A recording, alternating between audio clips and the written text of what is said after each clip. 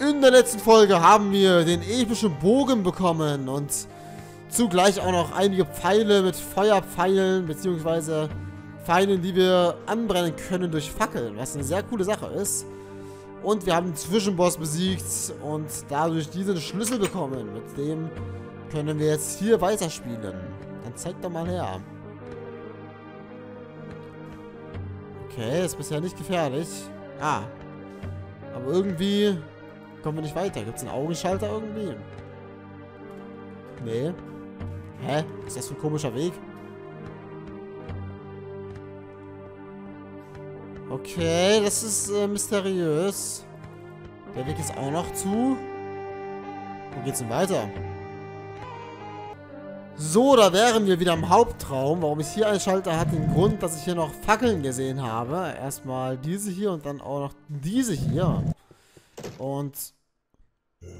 Das sind Dispenser. Die schießen auf einen. Das ist ja dreist. Wow, krass. Das ist mir gar nicht aufgefallen vorhin. Wie mies. Oh nein, jetzt kommen die ganzen Spinner hier wieder. Scheiße, kratz ab, Mann. Fuck. Oh je. Aber das Gute ist, mit den Pfeilen, die wir jetzt kriegen, können wir jetzt endlich mal was anfangen. Ja, also, ich glaube es... Ach, scheiße. Jetzt kommen wieder die nächsten Spinner direkt wieder, ist klar. Hm, ich dachte, wir hätten noch irgendwo einen Augenschalter gehabt. War das nicht hier? Da ist noch ein Schalter, okay. Ne, das war nicht hier. Dann äh, war das in irgendeinem von diesen Räumen hier.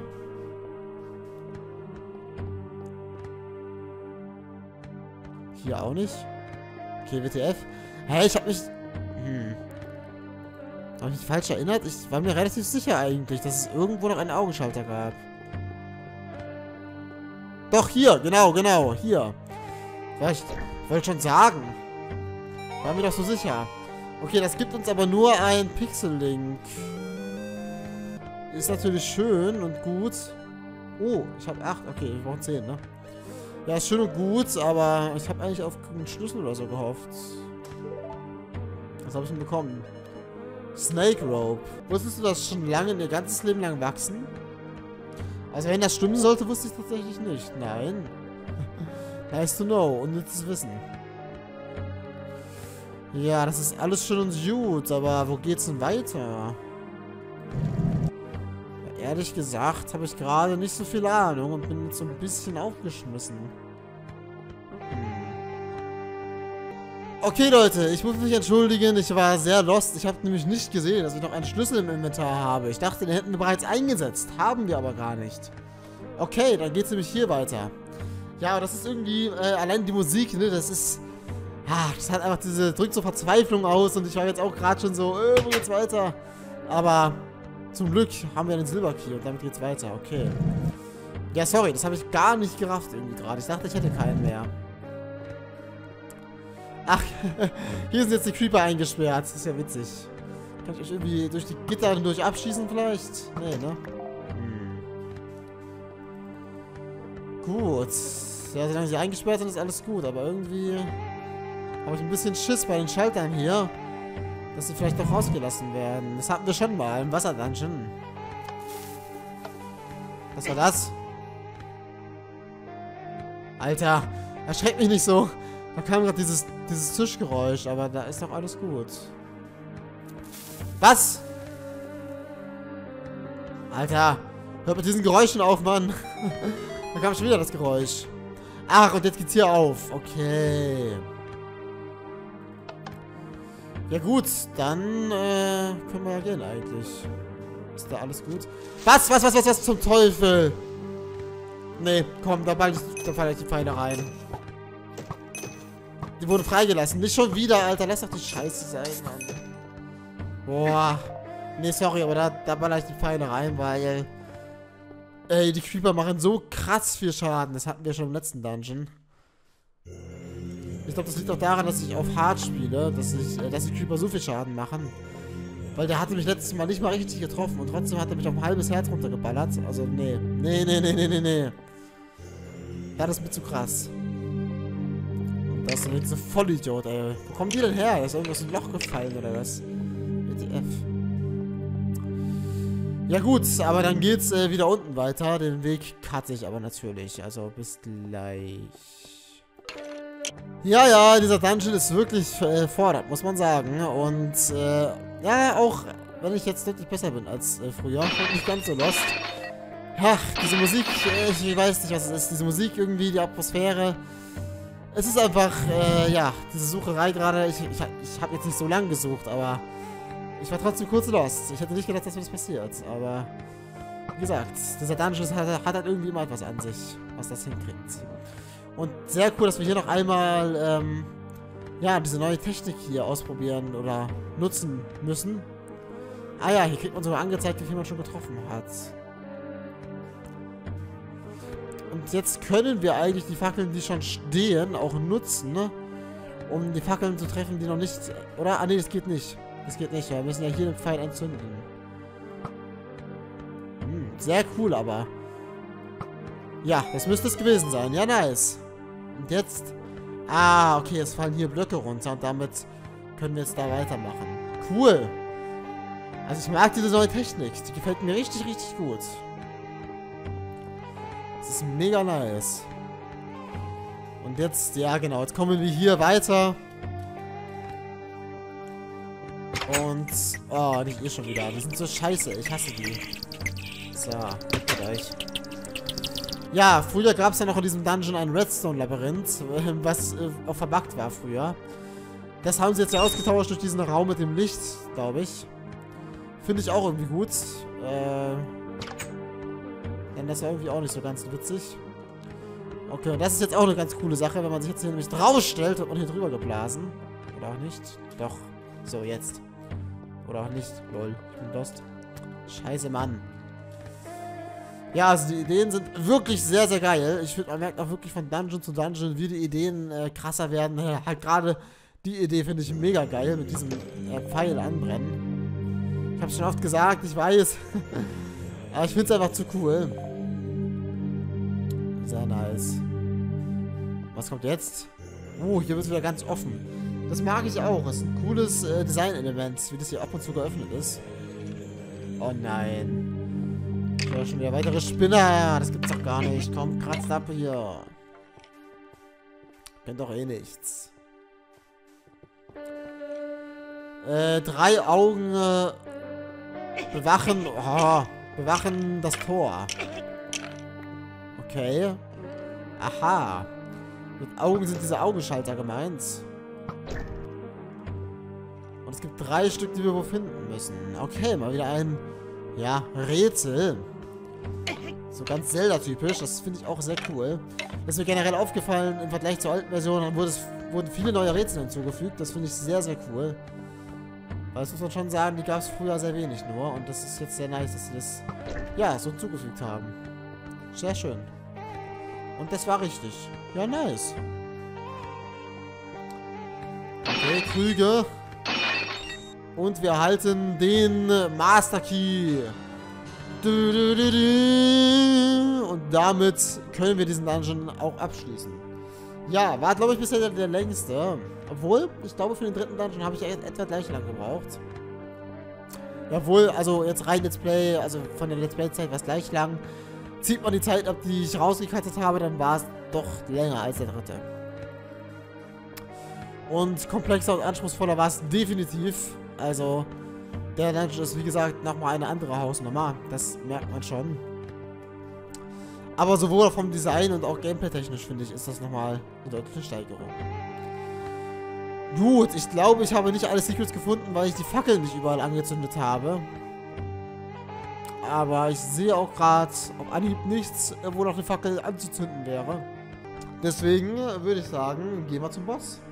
Ja, ich fühle mich bereit und bin gespannt, äh, wer mich hier erwarten wird. Okay, nochmal eine Heilung. Ich brauche gar nicht alles. Ah, und dieses Mal wollen mich noch Skorpione vom Boss abhalten. Aber ihr könnt mich mal so richtig hart. Deswegen habe ich mir auch extra noch ein paar Krüge dagelassen. Naja, aber war wohl geschickt. Okay, das ist hier unsere Kampfarena. Wow. Ich gehe direkt voll ab. Fledermäuse und Bogenschützen.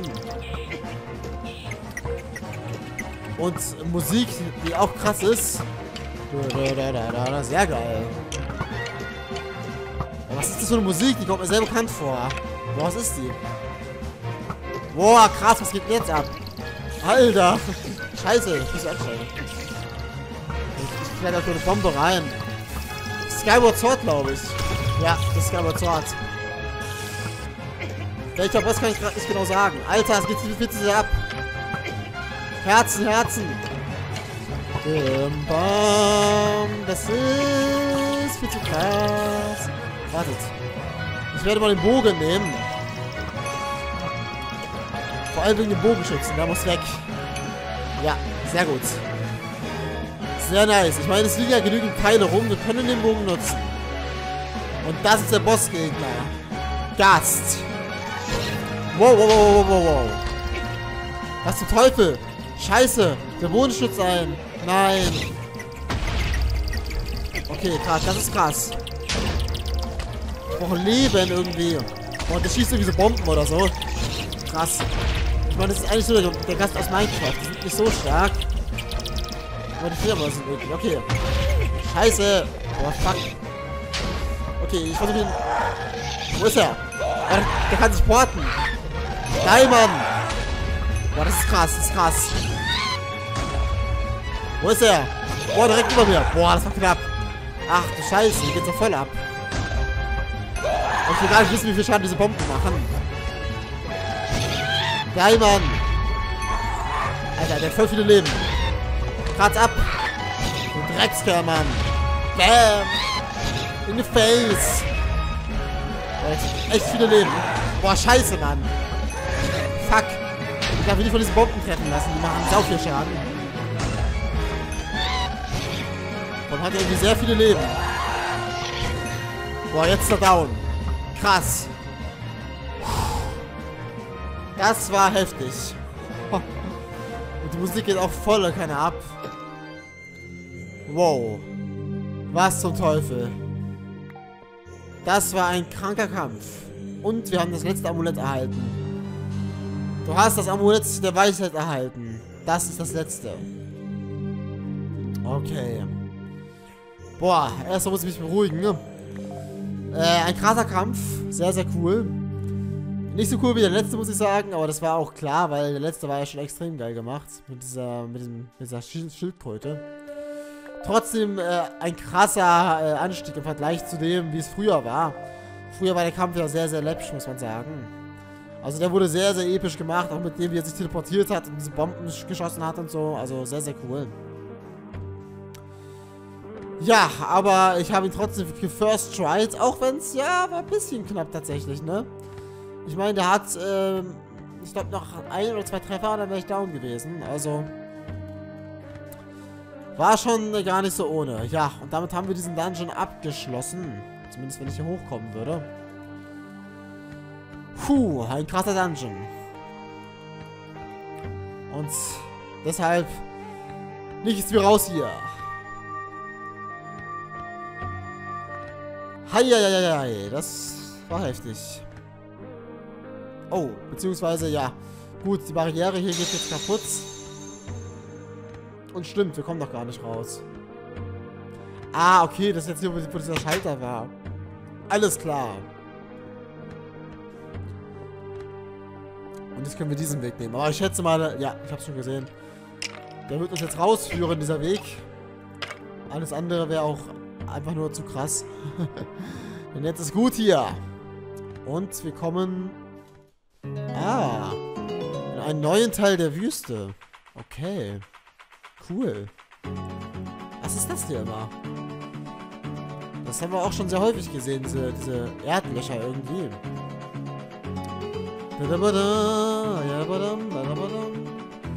Uh, okay. Ah, okay, hier geht's zu dem Modora Kolosseum. Genau, das ist dieses krasse Ding, was wir schon gesehen hatten. Wüstenheiligtum, da sehen wir es noch. Okay, wir haben es tatsächlich geschafft. Der Dungeon ist abgeschlossen. Und hier ist das Modora. Alter, das sieht krass aus. Ja, aber ich glaube, oder soll ich schon mal hingehen? Vielleicht können wir schon mal quatschen mit dem Typ hier. Hallo? Oh, ein Fremder in der Umgebung hier. Seltsam. Ich bin Dr. Drews und ich äh, erforsche das, äh, ja, antike Mudora-Kolosseum. Eine große Fee in der Wüste braucht meine Hilfe. Und deshalb muss ich einen Weg dort hineinfinden. Aber leider fehlt mir ein sehr wichtiges äh, Utensil. Und zwar das legendäre Modora-Buch. Ja, es beinhaltet alle Lösungen äh, für die Rätsel, die dort vor uns liegen. Aha. Du siehst mir wie ein Reisender aus, der schon an verschiedenen Orten gewesen sein könnte. Wenn du es schaffen solltest, dieses antike Buch zu finden, dann bringe es zu diesem Ort. Bam. Okay, mache ich. Also, ich brauche wohl ein Modora-Buch, um hier weiterzukommen. Okay, und das ist der Ort. Das sieht schon sehr, sehr krass aus. Voll dieses Symbol. Das sieht so aus wie dieses äh, Symbol für Weiblichkeit. Dieser, dieser Spiegel, ne? Witzig. Naja, vielleicht muss Link ja das Geschlecht umwandeln, um dort hineinzukommen. Wer weiß. Die äh, Lösungen zu den Rätseln stehen ja nur im Motorradbuch. Also Link, ich würde mir schon mal Gedanken machen. nee, Schmarrn. Also wir kommen jetzt hier zu diesem Haus. Das sieht aus wie ein Shop. Oh, und erstmal weitere Skorpione. Das sind eklige Gegner. Kratz ab hier. Jawohl, geht doch. Hm, wartet. Bogen. Ja, wir können ja auch nutzen, um äh, nicht so weit zu schießen. Das ist sehr gut. Und Shop, ja. Tatsächlich. Bei Tingle, jawohl. Komm, kann, ich kann ihn doch abwerfen nochmal. Bam. ah, so geil. Ich liebe es, dass man die abschießen kann. Okay, was hast du denn im Angebot? Bomben, okay, die brauche ich gerade eigentlich nicht. Pfeile, okay, doch. Kann man machen. Herz und ein rotes Elixier, aber ich glaube, da brauche ich eine Flasche, oder? Ja. Du brauchst eine leere Flasche. Gut, das heißt, ich würde dann zu einem späteren Zeitpunkt wiederkommen, wenn ich die Flasche habe. Weil sonst bringt mir das Ganze ja irgendwie wenig. Feuer gehört, WTF. Okay, hier hatten wir eine Höhle. Schauen wir doch mal hier, hier hinein. Pfeile. Okay, ja gut. Dass ich gerade welche gekauft habe, war natürlich unnötig. Ja komm, aber das kann ich doch nicht wissen, dass hier Pfeile sind. Wie mies. Geht nochmal richtig groß weiter hier, wie es aussieht. Krass. Ah. Da sind weitere Skorpione. Und jetzt sniper ich hier mal. Nice. Uh. Nice der Shot. Okay. Nehmen wir uns mal die Skorpione hier vor. Okay, Daumen gemacht. Das ist schon mal sehr gut. Das finde ich gut. Aha. Und hier haben wir noch einen Fluss. Schön. Der ist auch neu. Den gab es früher definitiv nicht. Okay. Ah, das sind noch die anderen Schalter. Okay, hier geht's zur Wüstenarena. Und hier geht's zu den Lost Woods. Da müssen wir hin. Was gibt's hier noch Schönes? Eine Abkürzung, oder? Ja, das ist eine Abkürzung. Den Anfangsbereich. Genau. Ja, genau. Das, da, da ist die Höhle, aus der wir hergekommen sind. Ja, schön. Sehr, sehr gut. Dann hätten wir die Abkürzung auch noch gleich hergestellt. Dann schaue ich mal, dass ich den Eingang für uns hier frei mache. Ähm, das auch noch. Genau, hier haben wir alle drei. Ähm, wow. Jetzt explodiert. Krass haben wir alle drei Schalter beisammen und können eigentlich schon weitermachen. Aber ich will doch kurz wissen, was sich hier in der Höhle befindet. Ein Rubin. Okay, schön. Ja gut, Leute. Dann würde ich aber sagen, äh, machen wir hier eine kleine Pause an dieser Stelle. Ja, heute wieder viele krasse Sachen gehabt. Diese Geisterqualle da als Endboss. Den krassen Dungeon abgeschlossen und hier noch ein bisschen den Düster erkundet. Im nächsten Part habe ich vor, ein bisschen Secrets äh, zu suchen. Wir haben jetzt ja mit den Bogen und Bomben einige Möglichkeiten. Von daher würde ich das gerne nutzen, um, ja wie gesagt, einige Secrets uns anzuschauen. Das werde ich relativ kompakt zusammenschneiden. Ich schätze mal, wir werden da noch Zeit haben, um hier diese Höhle zu erkunden. Und ja, dann schauen wir doch mal, was uns noch so erwartet. Ich bin gespannt. Ich hoffe, ihr auch. Wenn ja, dann schaltet doch gerne morgen wieder ein, denn dort kommt dann die nächste Folge für euch. Ich bedanke mich fürs Zuschauen und damit bis zum nächsten Mal. Haut rein!